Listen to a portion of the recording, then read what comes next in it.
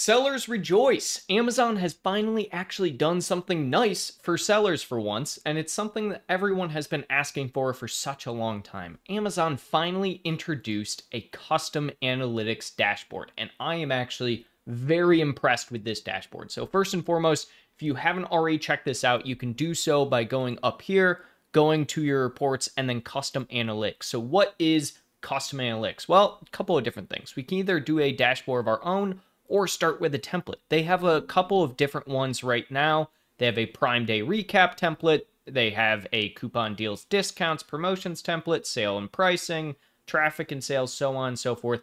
But it's actually really much better than that. And the reason it's better than that is because you have so many different things you can add in here for your tiles. You can have a table, you can have template files, you can have just so many different analytics. And the actual really cool part about this is that a lot of this is just much better than what I would say third parties are giving you.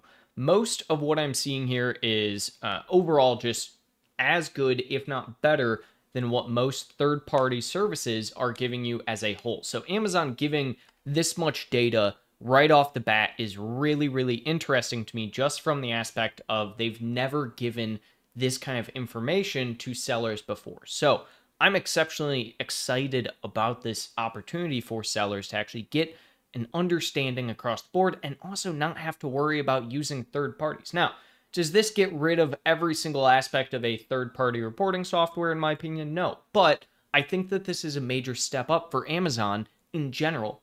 It's just very, very late as to when they should have initially done this. This seems like something they definitely should have given us years and years ago. They've had all this data.